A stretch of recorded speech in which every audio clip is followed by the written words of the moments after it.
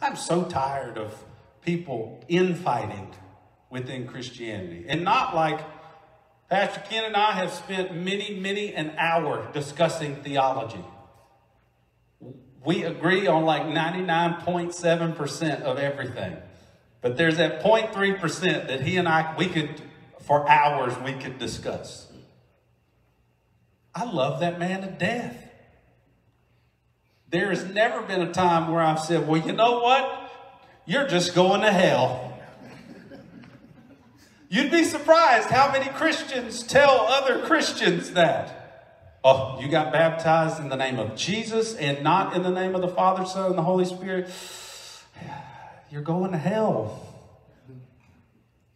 Oh, you wore a hat in church? That's hell. Sorry.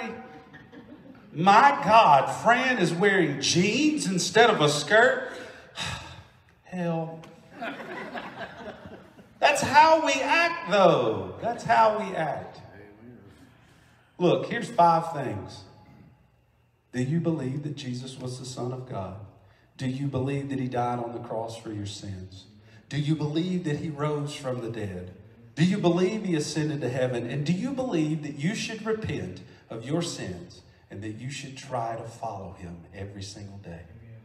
Five points, super easy, yet we make a mess of it.